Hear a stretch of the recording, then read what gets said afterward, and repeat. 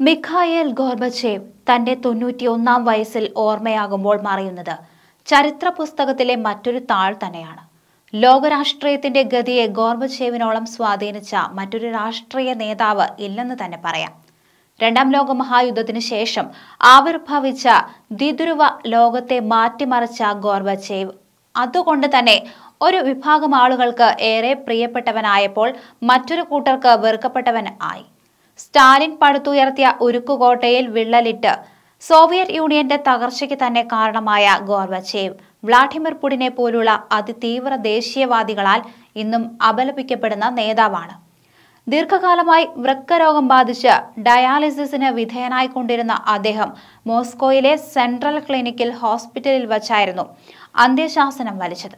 Interfax TASS R I A Novosti തുടങ്ങിയ മാധ്യമങ്ങളായിരുന്നു ഈ വിവരം ആദ്യം പുറത്തുവിട്ടത്. ഏഴു വർഷത്തിൽ താഴെ മാത്രം അധികാരത്തിലിരുന്ന മിഖായേൽ ഗോർബച്ചെ പക്ഷേ ഈ ഹസ്രകാലയളവിനുള്ളിൽ തന്നെ ചരിത്രം മാറ്റിക്കുറിക്കുന്ന പല സംഭവങ്ങൾക്കും തുടക്കം കുറിച്ചു. സ്റ്റാലിൻ പടുത്തുയർത്തിയ കിഴക്കൻ യൂറോപ്യൻ സാമ്രാജ്യത്തെ തകർത്തുകൊണ്ട് പോളണ്ട് യുക്രൈൻ ബാൾട്ടിക് റിപ്പബ്ലിക്കുകൾ തുടങ്ങിയ പല രാജ്യങ്ങളിലും നൂറ്റാണ്ടുകളായി തുടർന്നിരുന്ന റഷ്യൻ അപ്രമാദിത്വം അദ്ദേഹം അവസാനിപ്പിച്ചു. മാത്രമല്ല ലോകത്തെ എന്നും മുൾമുനയിൽ നിർത്തിയിരുന്ന പാശ്ചാത്യ ശക്തികളുമായുള്ള ആണവ മത്സരവും അവസാനിപ്പിച്ചു. യു എസ് എസ് ആറിന്റെ പതനമാണ് ഇരുപതാം നൂറ്റാണ്ടിലെ ഭൂമിശാസ്ത്രപരവും രാഷ്ട്രീയവുമായ ഏറ്റവും വലിയ ദുരന്തം എന്ന് പറഞ്ഞിരുന്ന വ്ളാഡിമിർ പുടിൻ ഗോർബച്ചേവിന്റെ മരണത്തിൽ അനുശോചനം രേഖപ്പെടുത്തിയതായി അദ്ദേഹത്തിന്റെ വക്താവ് അറിയിച്ചു. അതേസമയം ബോറിസ് ജോൺസൺ ഉൾപ്പെടെയുള്ള പാശ്ചാത്യ നേതാക്കൾ ബഹുമാനിക്കപ്പെട്ട വ്യക്തിത്വം എന്നായിരുന്നു ഗോർബച്ചേവിനെ വിശേഷിപ്പിച്ചത്. ചരിത്രത്തിന്റെ ഗതി മാറ്റി വരച്ചയാൾ എന്നായിരുന്നു U secretary general Antonio Guterres അദ്ദേഹത്തെ വിശേഷിപ്പിച്ചത്.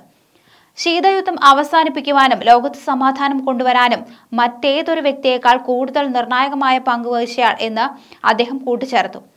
ആയിരത്തി തൊള്ളായിരത്തി എൺപത്തി അഞ്ചിൽ തന്റെ അൻപത്തിനാലാം വയസ്സിൽ സോവിയറ്റ് കമ്മ്യൂണിസ്റ്റ് പാർട്ടിയുടെ ജനറൽ സെക്രട്ടറിയായി ചുമതലയേൽക്കുമ്പോൾ തകർച്ചയെ അഭിമുഖീകരിക്കുന്ന ഒരു സാമ്രാജ്യമായിരുന്നു അദ്ദേഹത്തിന് ഭരിക്കാൻ ലഭിച്ചത്. പരിമിതമായ രാഷ്ട്രീയ സാമ്പത്തിക സ്വാതന്ത്ര്യങ്ങൾ അനുവദിച്ചുകൊണ്ട് രാജ്യത്തെ ശക്തിപ്പെടുത്താനുള്ള നടപടികളായിരുന്നു അദ്ദേഹം സ്വീകരിച്ചത്. അന്നുവരെ സോവിയറ്റ് യൂണിയനിൽ ആരും സ്വപ്നം പോലും കണ്ടിട്ടില്ലാത്ത അഭിപ്രായ സ്വാതന്ത്ര്യം അനുവദിച്ചതോടെ പാർട്ടിക്കെതിരായി പ്രതീക്ഷിക്കാത്ത തരത്തിലുള്ള വിമർശനങ്ങളായിരുന്നു ഉയർന്നു വന്നത്. എന്നാൽ അന്നത്തെ സോവിയറ്റ് യൂണിയനിൽ ഉണ്ടായിരുന്ന വിവിധ ദേശീയതകൾ ഉയർന്നു വരുവാനും അത് ഇടയാക്കി. ലാത്വിയ ലിത്വാനിയ എസ്റ്റോണിയ തുടങ്ങിയ ബാൾട്ടിക് പ്രദേശങ്ങൾ സ്വാതന്ത്ര്യത്തിനായി പോർവിളി കൂട്ടാൻ തുടങ്ങി. തുടർന്ന് അത് മറ്റ് സോവിയറ്റുകളിലേക്കും വ്യാപിച്ചു.